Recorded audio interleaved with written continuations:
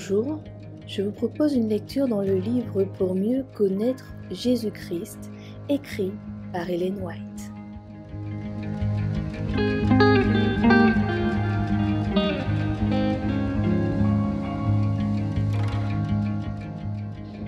La trame du tissu de l'humanité. Il en sera comme d'un homme qui, partant pour un long voyage,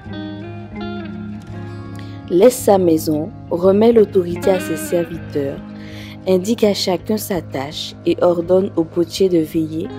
Marc 13, verset 34.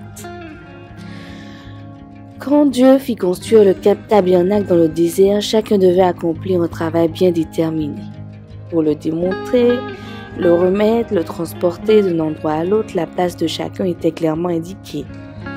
Le Christ était le général invisible de cette foule de plus d'un million de personnes et il n'y eut pas de manœuvre hasardeuse ou désordonnée. L'ordre, la rapidité, l'exactitude étaient exigés de chacun au poste qui lui était assigné. Cela constitue une importante leçon pour l'Église et pour toute personne choisie par Dieu pour jouer un rôle dans la grande œuvre. Personne ne devrait faire le travail incombant à un autre. Chacun doit accomplir sa tâche avec fidélité et intégrité.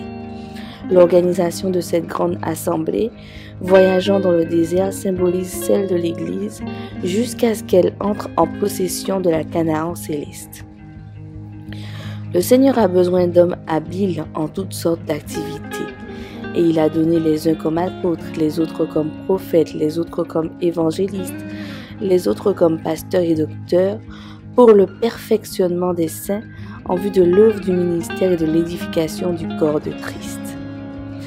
Chaque ouvrier dans chaque branche de l'œuvre doit avoir une intelligence et un cœur sanctifié par la vérité afin de voir non seulement le secteur dont il a la charge, mais sa relation avec l'ensemble. Quand des ouvriers sont consacrés à Dieu, ils manifestent un amour désintéressé pour leurs frères qui travaillent sous les ordres du Maître invisible. Nous sommes ouvriers avec Dieu. Chacun de nous est une partie du tissu de l'humanité. Ces fils resserrés les uns contre les autres sont destinés à faire apparaître le dessin de l'ouvrage et à en faire un tout complet. Soyez le fil qui permettra à Dieu de parfaire son dessein.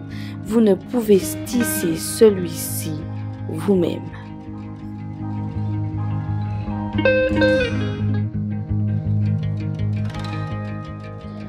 Prions ensemble en ce matin.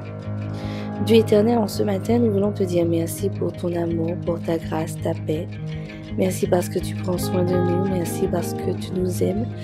Et que, Seigneur, tu nous accordes encore de vivre une journée avec toi ici-bas. Nous voulons te confier celle-ci afin que tu la diriges selon ta volonté. Seigneur éternel, en ce matin, tu nous rappelles que tu nous as donné à chacun une œuvre à accomplir et que rien ne se fait par hasard. Tu as de l'organisation dans ton Église, de l'organisation dans ce monde et Aujourd'hui, Père éternel, tu souhaiterais que chacun soit à son poste. Nous te prions de nous aider personnellement à être à notre poste et à faire la tâche que tu nous as confiée. Tu nous as donné une intelligence, tu nous as donné, Seigneur éternel, des dons, des capacités que nous voulons mettre à ton service pour être ouvriers avec toi.